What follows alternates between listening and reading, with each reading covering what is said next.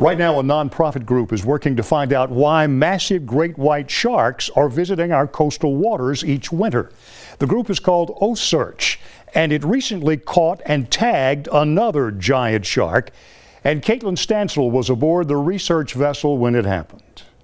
I am surrounded by water here on the OCEARCH vessel, but we are just a few miles off the coast of South Carolina.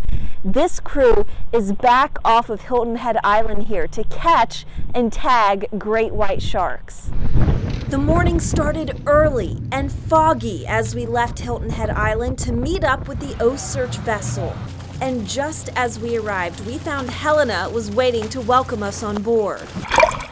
We're all getting ready and prepared because they've caught what looks like another subadult white shark for us to uh, tag and sample. She is the first white shark caught off the South Carolina coast during OCEARCH's current expedition. We're 12 feet 1 inch.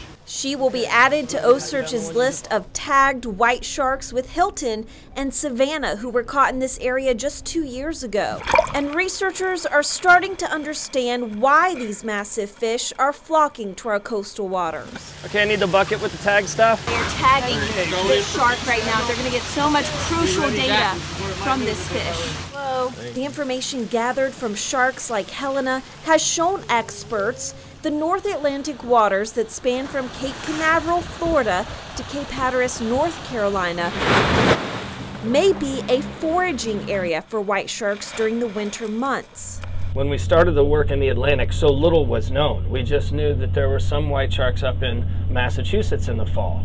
Those sharks led us to here. So we're starting to see the puzzle shape up. And it's a good sign that they're showing up here because their presence indicates just how healthy our oceans are. Whenever we catch a shark and take these swabs of their skin and their gills, we also have to take a sample of the water and run the water through a filter um, so they can then yeah, get an idea of, of what sorts of bacteria are living in this water.